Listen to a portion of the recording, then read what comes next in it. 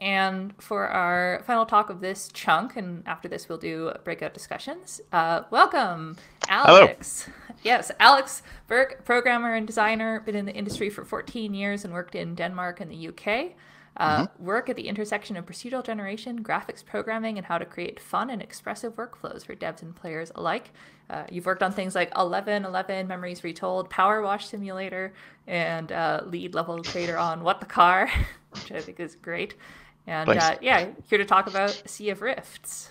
Yes, um, that's what I'm uh, about to talk about. And uh, I did have a slide presenting all of that stuff, but since we are a bit short on time, I'm just going to skip that and go straight to the game. So um, I'm going to talk about uh, Sea of Rifts, which is a roguelike combining uh, with the like mechanics of a story generator. Um, in the game, you take on the role of a captain heading out into this uh, hostile world that is slowly being torn apart by these rifts into other dimensions.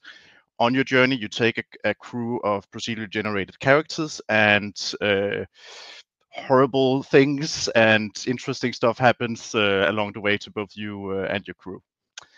Um, when you uh, are not out uh, exploring this uh, hostile world, you return back to port, and in port you can repair your ship and upgrade it. And this is also where you hire on crew members. Crew members are also generated from a bunch of uh, character traits we pick at random. They both define like how the character's personality is, but also what their capabilities are. What is not generated is um, my own crew. Uh, we are quite small uh, group of people making this game, and I'm also the main programmer on the game as part, as well as being like the uh, creative uh, director on the project. So it's um, like I have to be quite uh, like efficient and practical in how I make the game, and uh, also trying to get like as much of the team to uh, like contribute into it directly. So that's what I'm going to talk about today. So the agenda is going to be best practices for using procedural generation in a commercial game. It's how we generate the world and level in the game and then I'm also going to talk about story and character generation and a little bit more pipeline and uh, editor specific stuff. All right, so first I'm going to talk about random number generators, or rather that we don't actually use them. Um, I found that hash and noise uh, methods are way better than traditional RNGs. They produce a higher quality of uh, output than like for example, the random number generator you can find in Unity. Uh, it has no state, which is super beneficial because it means that you can always get the same number out if you just have the same uh, like position into your noise uh, method. Um, that means that they're thread safe, and that means that you can also like put them over on the GPU really easily if you need to at some point at some point like port some of your code over to run there and it's also easy to extend into multiple dimensions. And I don't really see a, a use case for why you would use uh, traditional RNGs. Maybe there is one, but I I don't know. So yeah, noise is noise. Another thing that's also super important is that you need to make sure that your generation is uh, deterministic. Um, you might have a player that will encounter a bug when we are generating a whole world and like narrative and characters. It's bound to happen and if you can't recreate the like the same state of the game that your player is in then it's impossible to track down what actually happened. And that is um, also tied into this concept i call uh, layer caking. It's similar to like composition in um, like object oriented programming uh, patterns. It's it's basically that you have a generator for each aspect of the game this means that you can take out a generator and you can like tweak it. Uh, it also makes it easier to read because like the responsibility of what the generator does is much more like well defined than if it was just like one big smudge of uh, spaghetti code that did all the the generation. In our game, it looks like this. We have the world generator that uh, has uh, like the master seed of the whole world and that in turn then seeds each uh, sub generator and we have two types of uh, generators. We have the those that generate like cells in the world and we also just have like the concept of uh, a generator in in a more abstract sense that's used for stuff for example like uh, like names in the game. And um, this means that it's actually quite easy for us to like add more generators into the game without changing the output of what was done before I also want to touch a bit on state. Um, so I would say like the hottest thing in procedural generation uh, right now seems to be uh, wave function collapse, where it's basically like a constraint solver, and I think it's it has its problems like uh, making games this way. Um, like in our case, uh, we can't really use it because we want to always be able to like teleport to an arbitrary point in the world. That's both for like uh, debugging purposes. It's really nice to just be able to say, I'm gonna spawn in here. Um, but we also have gameplay uh, that takes uh, like where the player can teleport around. And uh, the problem with something like uh, wave function collapse is that you uh, need to like start from an initial state, um, and then like your generation basically like uh, like grows out from outwards from that point. Um, that's not something that really fits our use case. I've also seen um, like procedural games in the past, like like take a long time to basically generate the the world before you can start playing in it. Um, we do have like a world generation like uh, state uh, when you start up an instance of the game, but it's super short because it doesn't generate that much data, and then most of the the, the data is actually generated each time you enter a cell, and that just makes it much much easier for us to uh, iterate on the game. So as uh, I was being introduced, um, I really like uh, like graphics programming. I think it's super fun, and that's also something we're using a lot in like how we make the game. So, for example, for um, like stuff that is static in the environment, we have this shader that allows us to uh, easily do some color randomization on them. Because we have a streaming world setup, the x and z coordinates uh, of everything can like shift around. So the only two constants we have is the uh, rotation of the object and the, the height. So we take those and basically generate a, like a randomized value, um, like static randomized value of each object, and we then use that to like add some like uh, color variation. This is uh, a little bit fake, like real pine trees, for example. Like they actually have the same color, uh, but uh, it helps like giving that perceptual difference to them that we didn't otherwise have for um, more like uh, human-made objects, uh, we have this HSV system where we can take an asset that wasn't initially like created for procedural generation, so that includes stuff from that asset store, and then we can define this uh, texture map where like a given area of the model, for example, like the hull on this ship, will get one uh, specific HSV offset. So we basically convert convert from RGB over to HSV, apply the offset, and then convert back to RGB again and this allows us to again like get a lot more visual variation uh, out of a few amount of assets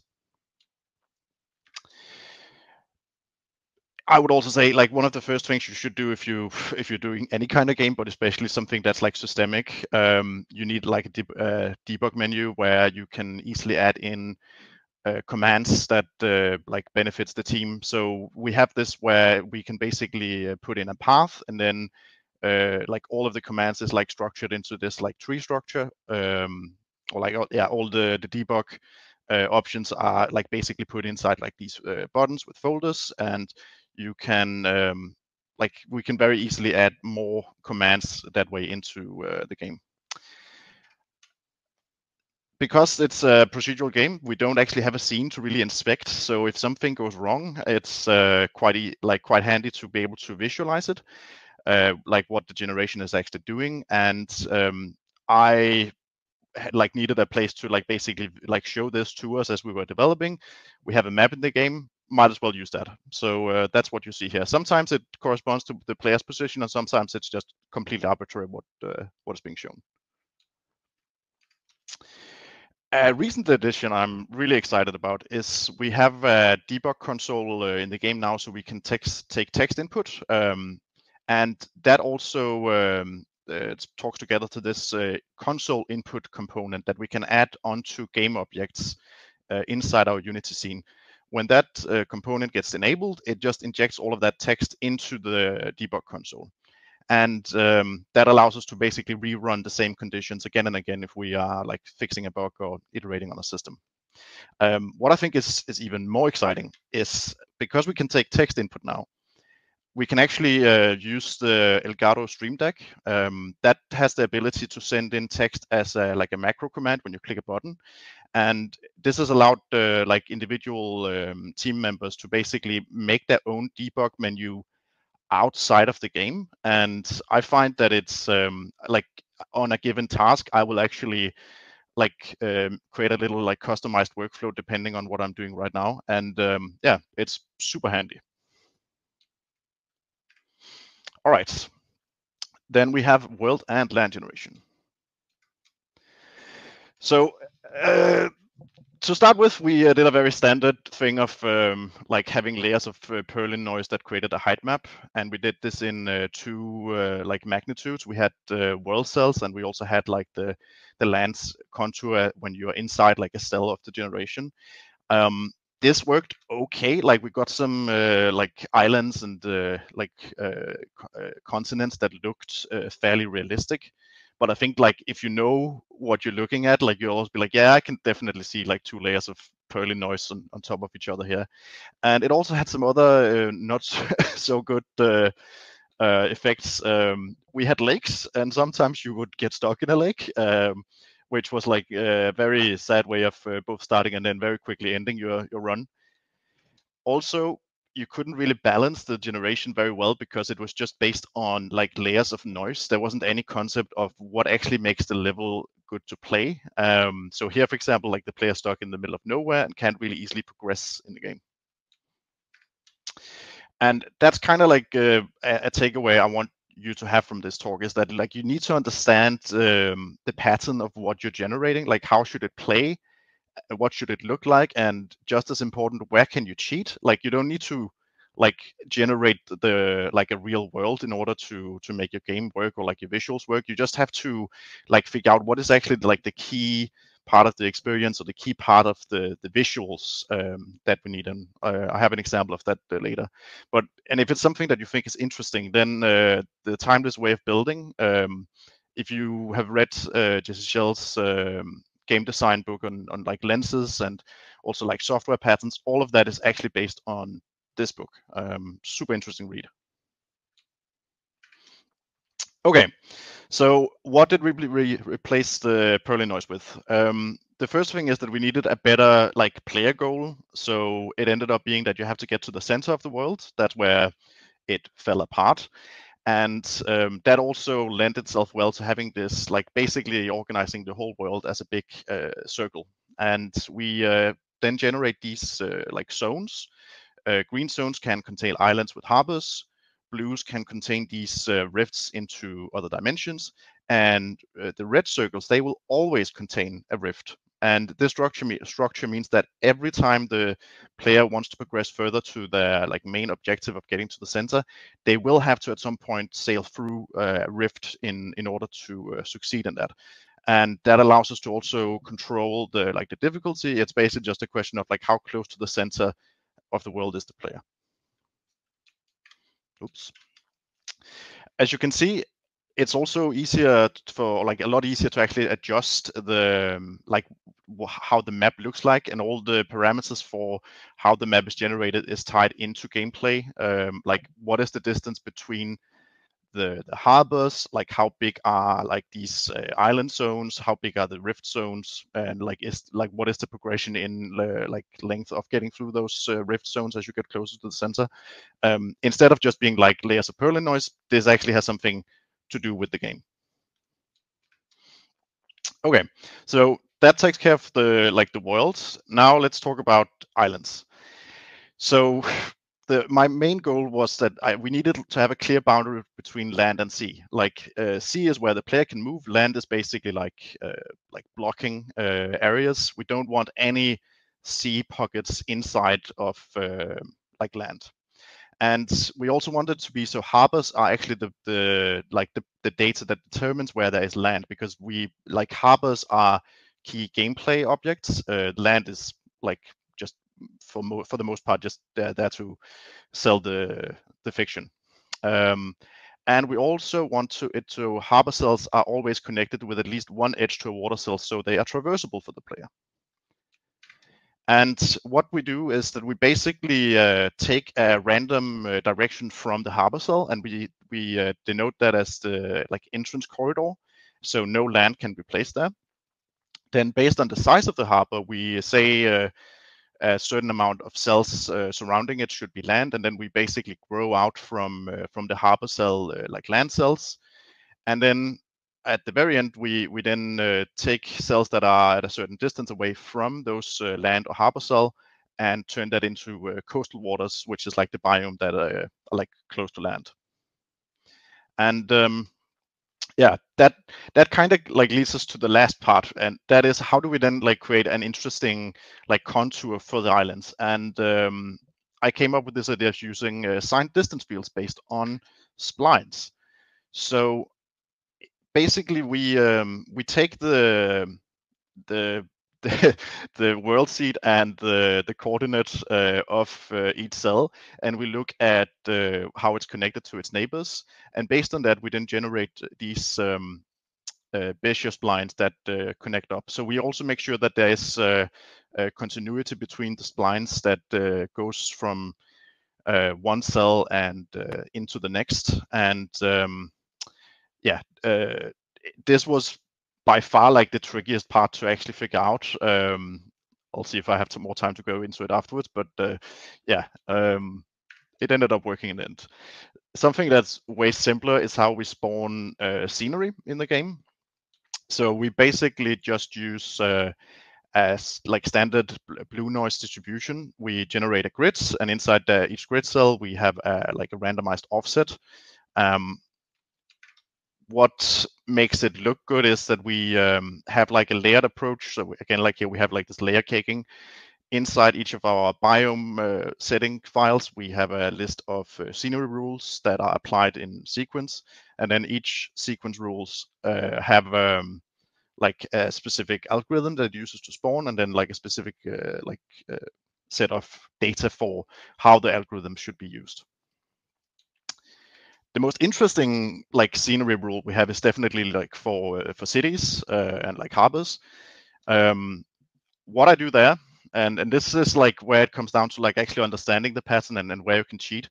Uh, I just generate a grid and then I offset each uh, grid point uh, by a random amount, and it's it's inspired a little bit by like how like real cities look like. I don't have that like fractalism that you see in a real city where like smaller uh, like bigger streets lead into smaller streets that leads to even like smaller streets. But the thing is because of the camera we have in the game you we don't really need that level of detail in the generation. It's it's good enough uh, like if the player can read it as a city and also if they can start to see that each harbor city is different then that's that's good enough for for what we need Okay, then uh, we come to uh, how we generate narrative. Um, this is like the area where we are trying to be very efficient and also reusing a lot of existing solutions out there. Um, so for example, for uh, conversation topics that can happen between the crew as you're sailing around, we, we are just picking from like long lists of uh, topics. Uh, you can probably guess that uh, it's all the insults on the, the right. Um, and this is uh, good enough because they don't happen like that often to create that sense of like the crew is actually like in, engaging with each other. For ship names, we uh, combine an adjective with uh, one of these names we found in uh, on Wikipedia from uh, the Royal British Navy. Um, especially, uh, a thing I love is like it took them a while to apparently get the the HMS Impregnable to live up to its name, so they had to like do a couple of tries, but I, I guess they got there in the end. We also use uh, Tracery, uh, which I'm sure many of you know. Um, we do use some custom macros that allows us to inject more of the game state into the generated text. And uh, we also use uh, phoneme generators where we have basically taken a bunch of uh, Danish city names, uh, chop them up, and then we concatenate them, and that creates that that works surprisingly well for generating um, names that feels Scandinavian in nature. For choice-based uh, like narrative, we use uh, Ink, um, open source, great tool. What we've then add, added on top is this uh, in-house uh, data structure uh, and an editor inside Unity that basically layers uh, or like like exists next to the Ink file, and that allows us to affect the game state based on the choices the player make. But it also allows us to uh, turn choices off if, uh, for example, the player doesn't have the right uh, crew on board. And it also allows us to pick uh, like a random choice or a choice based on a skill check. In general, I really like using uh, custom editors in Unity. It's super easy to uh, write them, and they have the the benefit that like the tool itself like shows more of like the structure of how you should actually do it um, like if we had it so our narrative designer and i had to uh, put in the data in xml it would be much more error prone because um, any data kind of like goes into text but if it's a GUI, like there is a structure to it, and you can like enforce what kind of uh, like input a given field uh, takes. Um, so yeah, it's um, something I, I, really enjoy doing. So uh, this is also where we have a like a quite simple uh, workflow, um, but like quite effective, and that is we, in order to make sure that we don't have any merge conflicts, um, we have the problem that the whole game takes place in one scene in Unity. And uh, the way we get around that is that we uh, we all work in separate branches. Uh, I work in the main branch, and I have the like the game scene to myself and then everyone else in the project takes a copy of the game scene like at regular intervals and like name it after themselves. And then if the game scene is uh, out of sync like it's it's too old uh, they will get a warning um, in the console. And it may or may not be a problem but if they are encountering problems then they know that they need to uh, overwrite the scene with the, the canonical version of the game scene we're also uh, making sure to split our assets up as uh, much as possible uh, inside Unity. That also reduces merge conflicts and means that team team members from different disciplines are less likely to touch the same assets. So for characters, we uh, also have this uh, kind of like paper doll system where um, we have like a set of uh, like color gradients we can pick colors from, and we have a set of um, sprites for ears, noses, and so on that are added on top of it. And even though we don't have a huge amount of uh, sprites because of the color variation, uh, we are surprised ourselves like how much variation we actually get in our crew portraits. And uh, the reason why we also have this like a more data-driven approach to how the portraits look is that as you are progressing in the game, your crew can be affected by all the strange energies uh, that are in the world and slowly like change and become more and more shaped by the the weird um, uh, energies of uh, traversing the Sea of Rifts. Okay, so to summarize, um, noise methods are super nice. I encourage you to use them if you're do, uh, using a ProcGen in a production, make sure that it's deterministic, make sure that it's layered, and make sure that it's flexible so you can easily change stuff based on player feedback. Uh, write your generators with a focus on the player experience. And also a simple solution with good design and good content is always better than having like some kind of like clever algorithm, but like not actually having thought of like what goes into it. Um, use existing tools where you can, like if you're making a commercial game, like you need to think about actually like shipping at some point, and you need good workflow and development tools uh, for yourself, but also to enable your whole team to contribute to the game.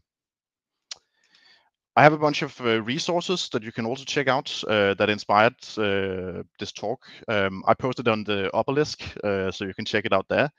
And uh, yeah, thanks for listening, and um, thanks for Roguelike Celebration for letting me speak and uh, including us in the the Steam sale. Um, we have a, a, playable demo up on Steam right now. So if you're interested in trying out the game, uh, please uh, yeah follow the links. Oh, Excellent.